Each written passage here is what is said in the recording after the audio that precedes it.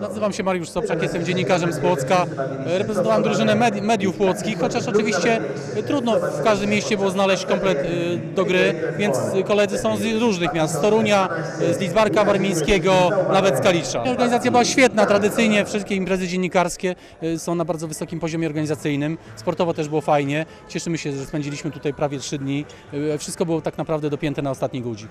Bardzo fajnie grały media e, w Armii i Mazur, ale oczywiście zdecydowanie najtrudniejszym, najlepszym przeciwnikiem były dla nas, był dla nas finałowy, e, finałowy rywal, którym wygraliśmy po bardzo zaciętej, ciężkiej walce. E, Jako Płock, tak, wygrałem z kolegą w siatkówce plażowej, ale tam gra tylko dwóch, on tu był ze mną, ale pozostała czwórka przyjechała z nami zagrać pierwszy raz, także był to eksperymentalny taki skład, ustawienie, ale podobny problem pewnie miały wszystkie inne drużyny. Ja grałem w pierwszej lidze 20 lat temu przez 6 czy 7 lat, więc raczej stresu nie mam, natomiast młodzi koledzy, którzy grali z nami, e, troszeczkę byli spięci, ale tu właśnie nasz trener Robert Niczarek bardzo nam pomagał, także to, to, to jest fajny pomysł i to absolutnie nie spinało ich, tylko dopingowało do lepszej gry.